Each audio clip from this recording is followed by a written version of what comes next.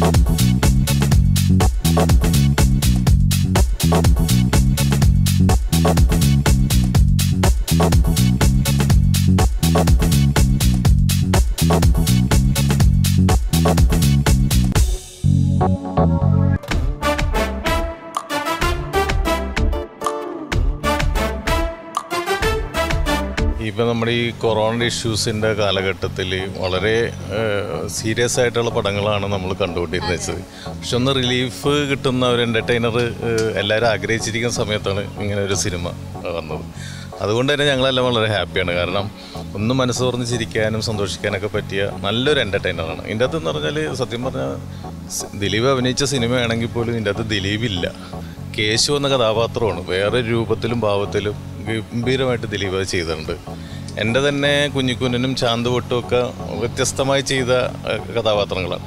അതി അതിനോട് യാതൊരു സാമ്യതയില്ലാതെ വളരെ ഡിഫറെന്റ് ആയിട്ടുള്ള ഒരു രൂപമാറ്റം ഇതിനകത്ത് ദിലീപ് ചെയ്തിട്ടുണ്ട്.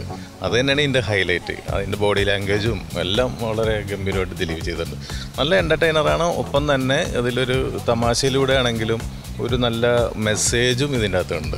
അത് പണത്തിനോടുള്ള ആർത്തിയെക്കുറിച്ച് എല്ലാം ഒരു മനുഷ്യർക്ക് പറഞ്ഞു കൊടുക്കേണ്ട തന്നെ ഒരു നല്ലൊരു സന്ദേശം കൂടിയുണ്ട്. ഏതായാലും വളരെ എൻജോയ് ചെയ്ത ചേട്ടൻ ഹാപ്പിയാണ് ഓക്കെ